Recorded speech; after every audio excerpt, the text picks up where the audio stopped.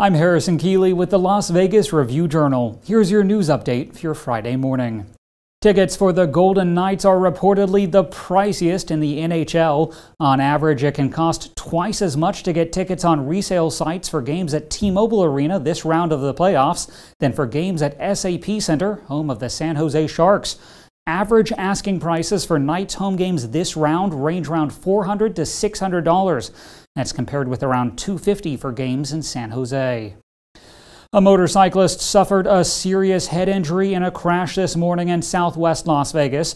The crash was reported around 1 a.m. at Durango Drive and the 215 Beltway. No other vehicles were involved. The man hospitalized was the only rider on the motorcycle. And Steak and Shake has opened its first drive through location in Nevada. The new restaurant is in Henderson near the 215 Beltway and St. Rose Parkway Trail. It comes after Hooters Hotel opened the largest Steak and Shake in the world in April. For all of your Las Vegas news and much more, visit ReviewJournal.com.